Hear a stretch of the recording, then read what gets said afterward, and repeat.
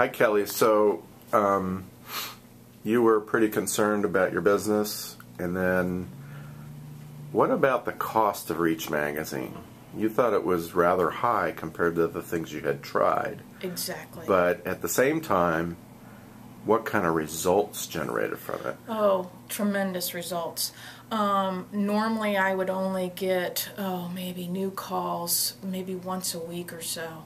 And as soon as that March issue went out, um, I had 11 calls that day, and nine converted into grooms. Wow, that's pretty good. And then what? What happened on an ongoing basis for a couple weeks? Oh, it went crazy after that. I mean, it just, the calls kept coming in, and um, For how many weeks? Oh gosh, for a good, you know, Peter, I think at least four weeks. I'd have to go back and look, but Yeah. I mean, you know, I know strong for two weeks, definitely. Yeah. And then people would keep the magazine for a little bit longer and then come back to it.